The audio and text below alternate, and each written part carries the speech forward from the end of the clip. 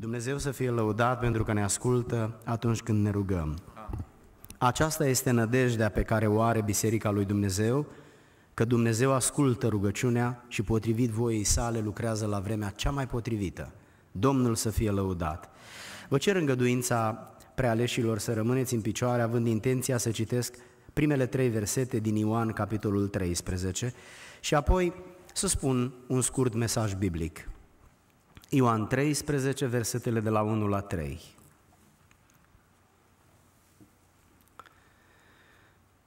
Înainte de praznicul Paștilor, Iisus, care știa că i-a sosit ceasul să plece din lumea aceasta la Tatăl, și fiindcă iubea pe ai săi, care erau în lume, i-a iubit până la capăt.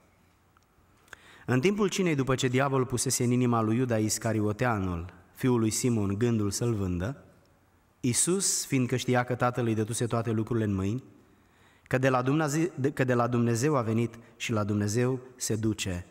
Amin. Vă invit să vă reașezați.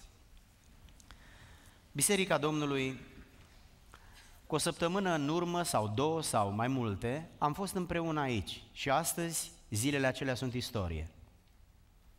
Astăzi este o nouă zi, dar mâine va deveni istorie.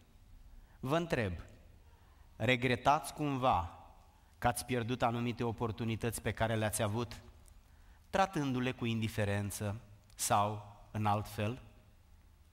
Dacă da, gândiți-vă că există riscul să se repete aceste atitudini, atitudini și cu privire la fiecare zi numită astăzi. De aceea vă încurajez tot ceea ce știți că trebuie să faceți, faceți cu inima.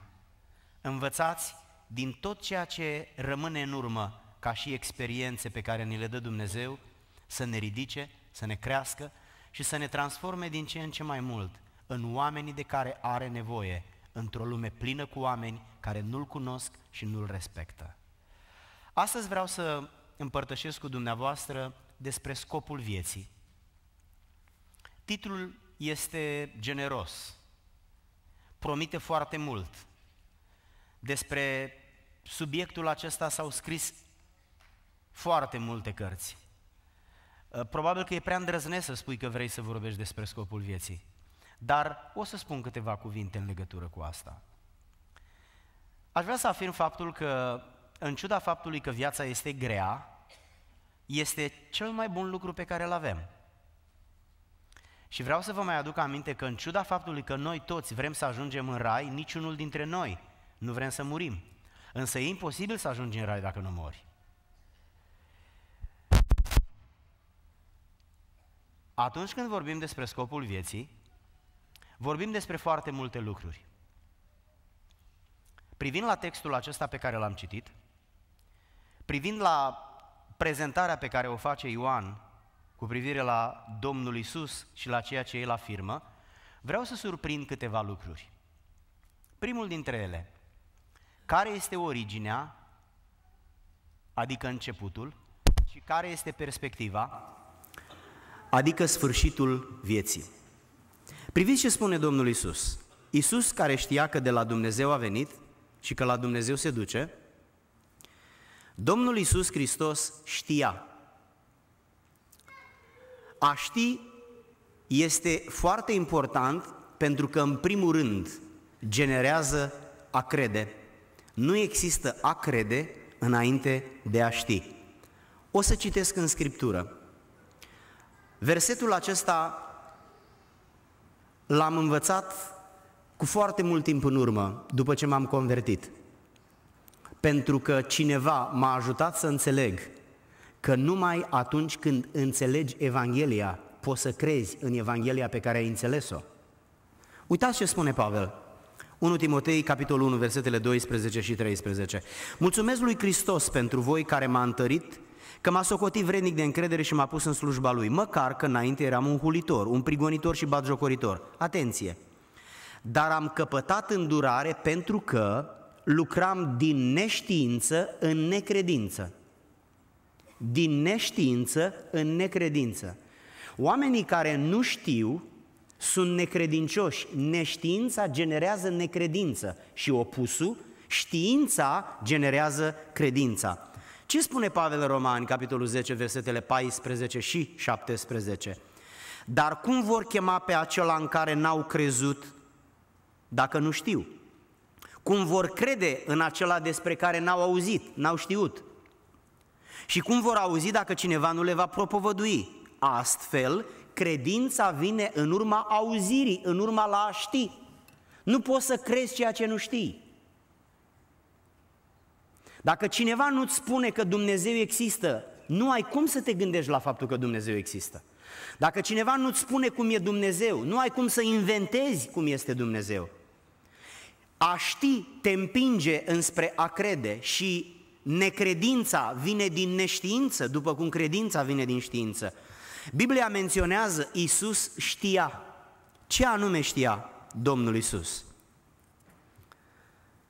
Isus știa că de la Dumnezeu a venit. Pentru Domnul Isus originea vieții a fost Dumnezeu. Pentru Domnul Isus n-a existat ateism. N-a existat perspectiva să vii din maimuță, din moluște. Pentru Domnul Isus Hristos, Fiul lui Dumnezeu, care este Dumnezeu adevărat din Dumnezeu adevărat, originea vieții este Dumnezeu. El nu a avut probleme să-și recunoască originea, să-și onoreze originea. Biblia ne spune că el a știut clar că vine de la Dumnezeu. Faptul că a știut acest lucru l-a făcut responsabil despre ceea ce a știut.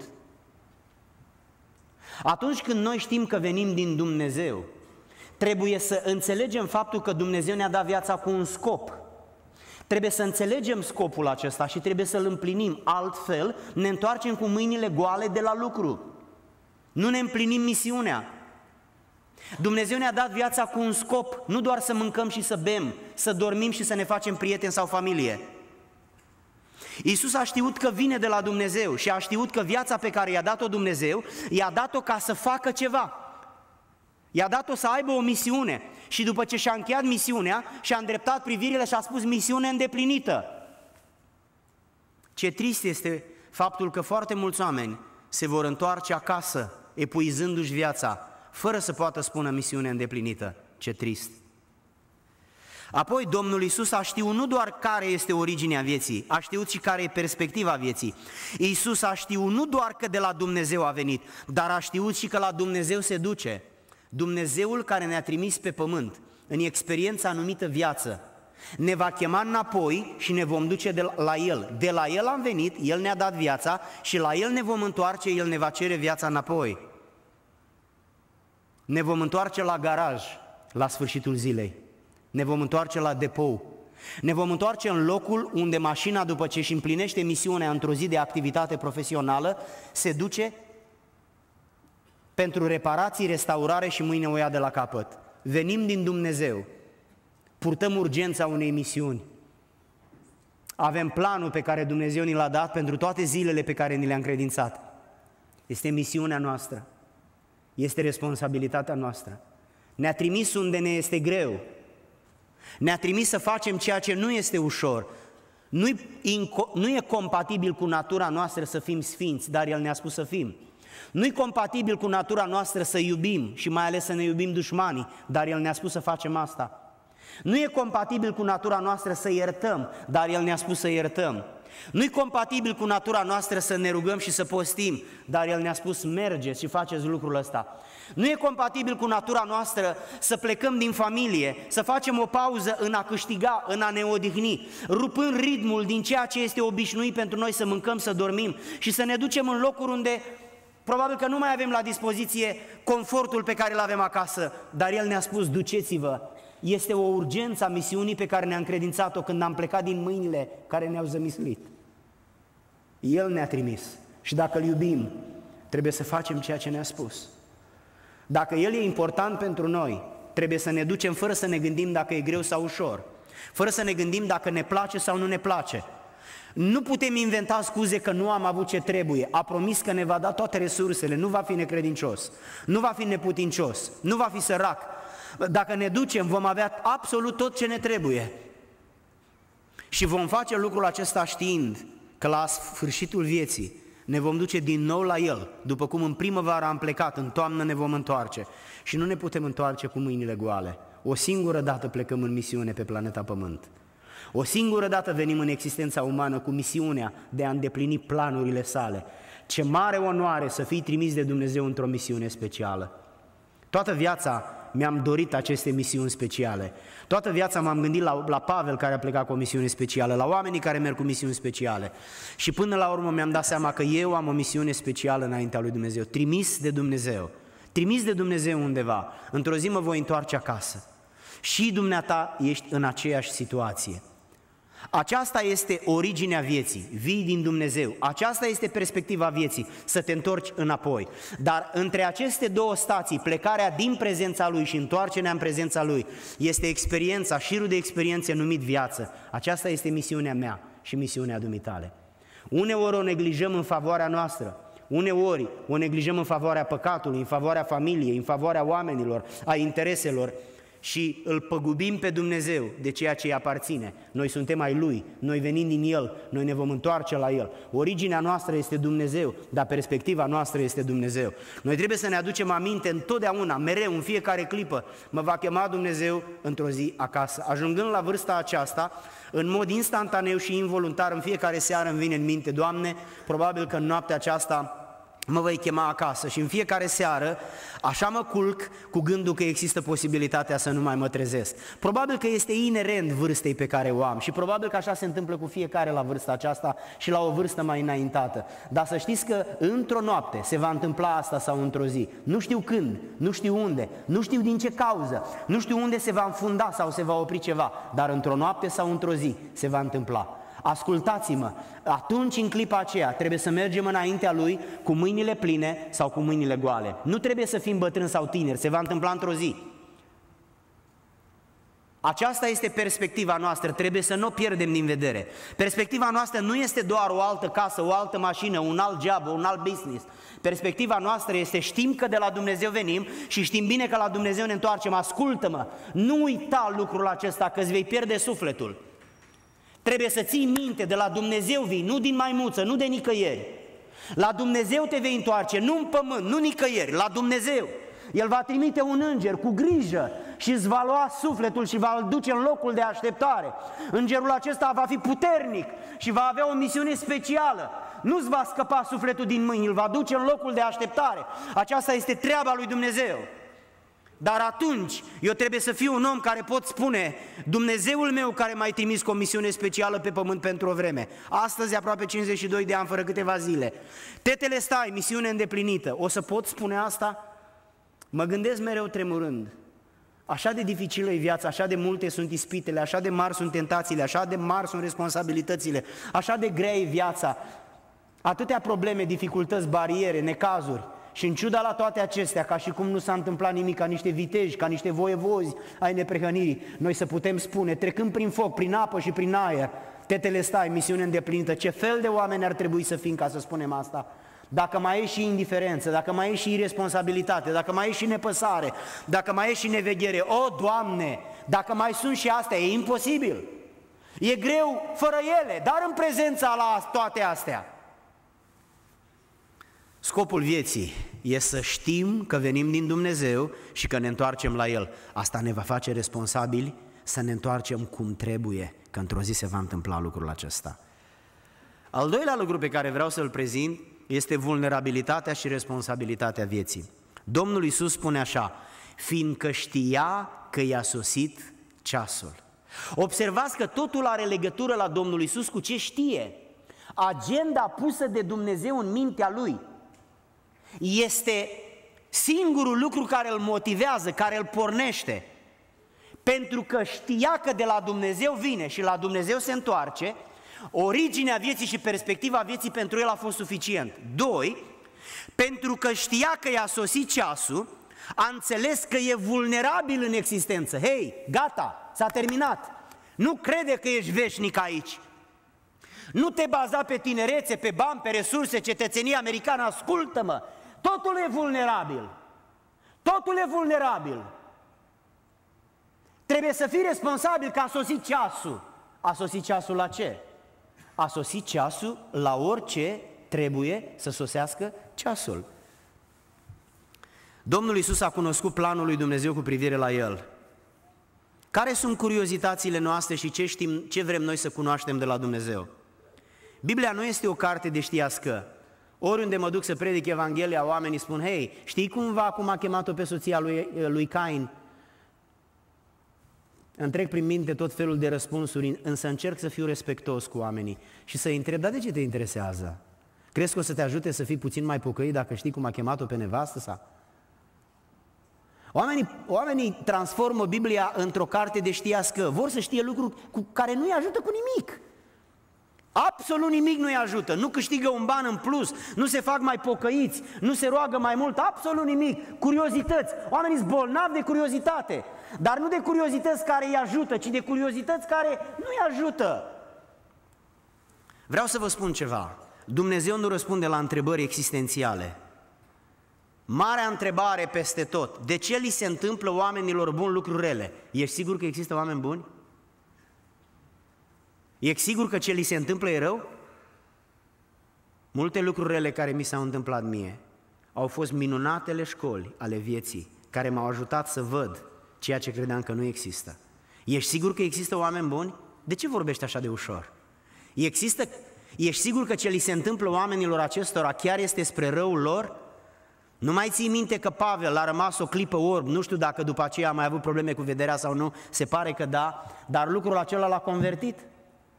Toate încercările prin care, la, prin care Dumnezeu l-a trecut, l-au maturizat, l-au format, l-au ajutat să viadă viața din perspectiva lui Dumnezeu, nu din perspectiva unui om care trebuie neapărat să se îmbogățească.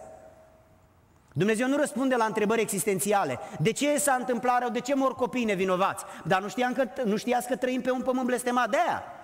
Dumnezeu nu răspunde la întrebări de genul ăsta. De ce este lumea așa de rea? Dumnezeu nu răspunde la întrebări de genul ăsta. Astea sunt întrebări legate de existență. Doi, Dumnezeu nu răspunde la întrebări escatologice. Hei, când te vei întoarce? Nu-i treaba voastră. Treaba voastră este să puneți mâna pe pocăință. Treaba voastră este să fiți plini de Duhul Sfânt. Treaba voastră este să plecați în misiune. Nu să aveți curiozități escatologice. Stați toată ziua nepăsători când va veni Domnul. Trebuie să fiți plini de Duhul Sfânt, ăsta da interes după voia lui Dumnezeu. Trebuie să mergeți până la marginile pământului, ăsta da interes după voia lui Dumnezeu. Nu este treaba voastră să știți vremurile sau soroacele, nu-i treaba voastră, nu vă ajută cu nimic să deveniți puțin mai inteligenți, mai pricepuți, să știți un pic mai multe despre ziua de mâine, nu ne face cu nimic mai pocăiți. Dumnezeu nu ia mai multă slavă că știm sau nu știm. Noi trebuie să trăim pentru gloria lui Dumnezeu. Noi trebuie să trăim pentru împlinirea intereselor împărăției sale. Ăsta e scopul nostru, nu să știm sau să cunoaștem.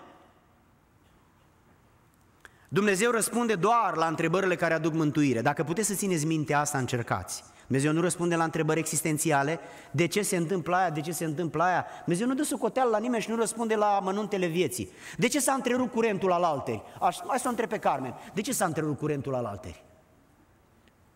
Astea sunt întrebări existențiale. Punem întrebări cu privire la evenimente din viața noastră. Dumnezeu nu răspunde la așa ceva. Când o să vină Domnul Isus? Dumnezeu nu răspunde la așa ceva. Întrebări existențiale și escatologice Dumnezeu nu răspunde. Dumnezeu răspunde la întrebări legate de mântuire. Cum pot avea viață veșnică? Dumnezeu răspunde la întrebarea asta. Cum pot fi mântuit? Dumnezeu răspunde la întrebarea asta. Cum pot deveni folositor pentru Dumnezeu? Dumnezeu răspunde la întrebarea asta. A venit tânărul bogat și a pus întrebarea care trebuia. Ce să fac ca să moștenesc viața veșnică? Și a pus-o cui trebuia. Și a primit răspunsul care trebuia, dar n-a făcut ce trebuia. Poftiți! Curiozitate care nu i-a ajutat la nimic. Măcar că întrebarea era bună și Dumnezeu răspunde la genul acesta de întrebări. Ce vrea Dumnezeu să-mi arate în experiența prin care trec? Asta este o întrebare după voia lui Dumnezeu. Pentru că toate experiențele prin care El ne trece are rolul să ne descopere ceva. Ce nu vrem să învățăm prin teorie, ne învață Dumnezeu prin suferință, prin anonimat, prin singurătate. Ce vrea Dumnezeu să învăț din accidentul ăsta? Ce vrea Dumnezeu să învăț din experiența asta? Ce vrea Dumnezeu să învăț din simțământul că sunt singur? Ce vrea Dumnezeu să învăț din gustul amar pe care l-am, că nu mai mă laudă nimeni și mă simt așa non-valoros? Ei, toate acestea sunt întrebări de înțelepciune care duc la mântuire. Toate întrebările de înțelepciune care duc la mântuire sunt după voia lui Dumnezeu, dar curiozități existențiale și curiozități escatologice, Dumnezeu nu răspunde la asta. Dumnezeu nu răspunde, n-are Dumnezeu un show de știați că. Oamenii cred asta despre Dumnezeu și despre Biblie. Biblia nu vorbește decât despre planul de mântuire și de restaurare. Și orice persoană, și orice idee, și orice concept, și orice gând care interferează cu planul de mântuire a lui Dumnezeu și de restaurare a oamenilor, Dumnezeu vorbește și despre persoana care interferează, adică se întâlnește cu, și despre ideea sau conceptul care se întâlnește cu. Dar tot ce nu are legătură cu planul de mântuire, cu acest culoar al mântuirii lui Dumnezeu, Dumnezeu nu răspunde și nu vorbește nimic despre alți oameni, despre nevasta lui Cain, care nu are nicio legătură cu planul de mântuire al lui Dumnezeu. Dumnezeu nu răspunde la știați că. Nu face parte din sensul vieții să știm cum a chemat o femeie de acum câteva mii de ani. Avem atâta treabă, Fraților, avem atâta treabă, sunt tineri dintre ai noștri care nu mai vin la biserică. Nu vi se pare că asta e treaba noastră? Sunt oameni bolnavi, nevizitați la spital, familia Sabinuție de câteva luni acolo. Nu vi se pare că e puțin treaba noastră? A, interesează pe cineva problema asta? Mă lăsați să vă mai întreb o dată, interesează pe cineva? Noi suntem sute de oameni. Știți ce mi-a spus al alteri? Nu vreau să vă spun că e greu. Cum a chemat-o pe nevasta lui Cain? Puteți să mă iertați pentru cuvintele astea? Le puteți uita, dar credeți-mă că într-o zi cuvintele acestea vor face diferența. Doar astea vor face diferența. Fraților, curiozitățile noastre, dacă nu au legătură cu promovarea împărăției lui Dumnezeu și cu proslăvirea lui Dumnezeu, are legătură cu noi are legătură cu divertismentul nostru, are legătură cu inteligența noastră. Scopul vieții este să-L onorăm pe Dumnezeu, să-L servim pe Dumnezeu, să-L proclamăm pe Dumnezeu, să împlinim interesele sale din împărăția sa. La aceasta ne-a chemat El, nu la curiozități existențiale și escatologice. El ne-a chemat la rod.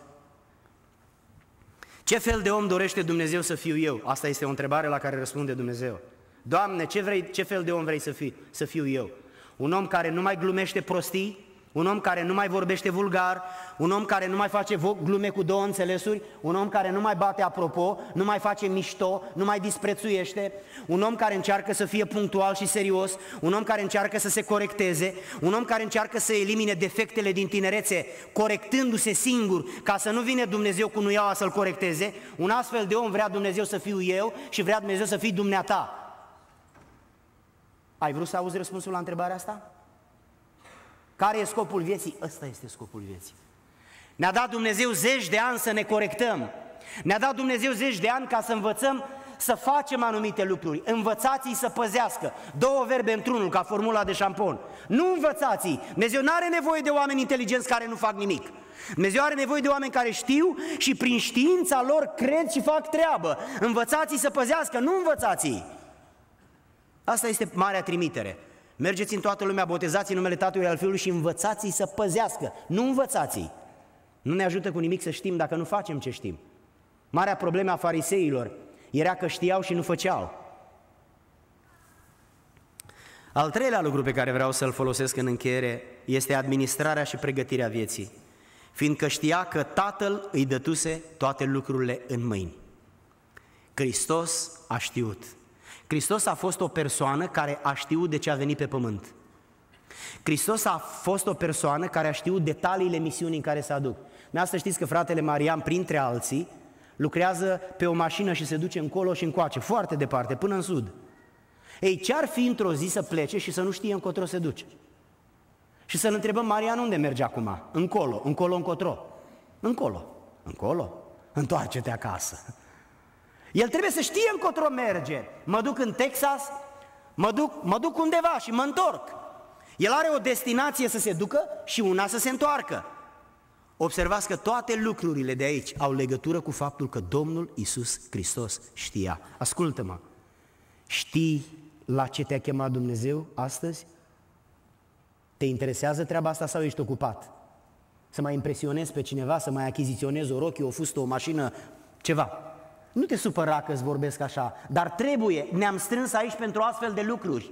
Nu ne-am strâns să spunem glume. Nu ne-am spus așa să zâmbim și să facem fan, cum se obișnuiește în ultimul timp, în timp ce deschidem Biblia asta și nu spunem o vorbă din ea. Întâmplări și glume peste glume. Ascultați-mă, oamenii lui Dumnezeu. Știm noi de ce ne-a mai dat Dumnezeu ziua de astăzi? Se putea și fără noi.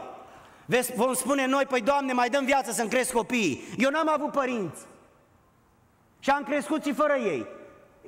Sper să mă înțelegeți ce spun. Nu vreau să spun că nu are nicio importanță dacă copiii noștri mai au părinți sau nu. Am vrut să spun altceva. Oamenii ai lui Dumnezeu, trebuie să privim viața din perspectiva unor oameni care au obligația să-L servească pe stăpânul lor. Suntem ca niște soldați.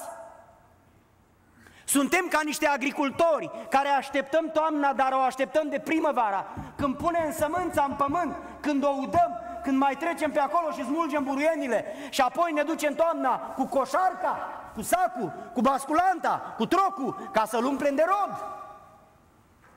Care este scopul lui Dumnezeu cu mine astăzi? Care e beneficiul lui Dumnezeu în astăzi? Am avut ce să mănânc, am putut să respir, am avut mașină, am avut acoperiș, nu-i pot reproșa nimic. El poate să-mi reproșeze mie ceva?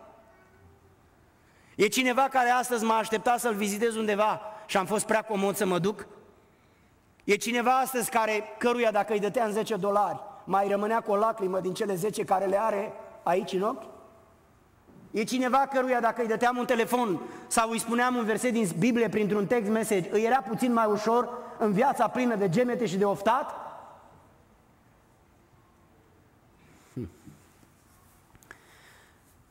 Administrarea și pregătirea vieții, fiindcă știa că tatăl îi dătuse toate lucrurile în mâini. Administrarea vieții este responsabilitatea mea eu trebuie să-mi administrez viața în funcție de planul său. Care e planul său? Dumnezeu și asumă că eu îl știu. Domnul l-a știut pentru că Isus știa. De trei ori, pentru că Isus știa. Pentru că Isus știa. Știți de ce a făcut ce a făcut? Pentru că a știut că lucrurile trebuie făcute, e urgent, e obligatoriu. Știți de ce mulți oameni nu fac ceea ce Dumnezeu se așteaptă ca ei să facă? Pentru că oamenii aceia nu știu. Ușor, ușor alunecă creștinismul înspre religie. Bisericile istorice n-au început de aici, aici au ajuns. Ele au început din 1054 când s-au despărțit să s-au certat pe doctrine biblice și pe teritorii între Constantinopol și Roma. Și uitați-le astăzi, uitați-le astăzi cum sunt. Uitați-vă astăzi cum ține o preot o slujbă.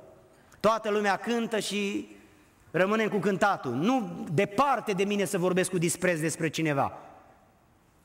Am vrut doar să spun următorul lucru. Dacă nu știi, nu vei face.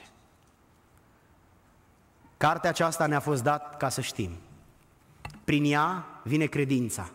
Și prin credință, cunoscând voia lui Dumnezeu, noi știm că trebuie să ne rugăm, știm că trebuie să postim, știm că trebuie să dăruim, știm că trebuie să devenim voluntari în lucrările lui Dumnezeu. Dacă m-ar suna unul dintre copiii mei și mi-a spus, tată, tate, am rămas pe, pe expres, te rog frumos, fă ceva, vino și ia sau altceva, o nevoie a unui om. Știți ce aș face? I-aș spune lui Viorel și lui David, iertați-mă, iertați-mă, vin, mă întorc într-o jumătate de oră, mă duc, mă duc, mă duc. Nimeni nu mă oprește. Dar dacă Dumnezeu îmi dă un îndemn, du-te și fă lucrul ăla, du-te la rugăciune în duminica cinei de la 8. Ce îi spun? Pot să-i spun lui David și lui Viorel, hei, vă rog, vă rog, așteptați-mă că mă întorc în 45 de minute. Oamenii ai lui Dumnezeu, știm noi ce se așteaptă Dumnezeu de la noi să facem?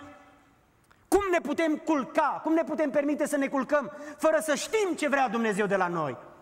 Încă mai avem putere, mai avem vlagă, vorba lui Caleb, suntem încă tari. Ne mai putem ridica în cap oaselor, în picioare.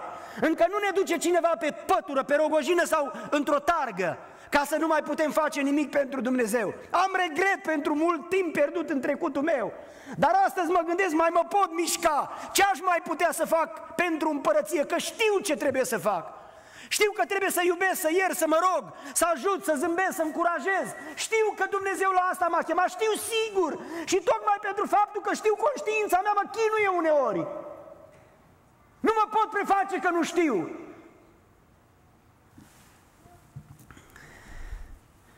Scopul vieții este să știi care este voia lui Dumnezeu și să împlinești această voie. Și când te vei întoarce spre El, când te va chema ca să mergi de unde ai venit, să spui, te telestai. adică misiune îndeplinită. Amin. Haideți să ne rugăm poporul Domnului.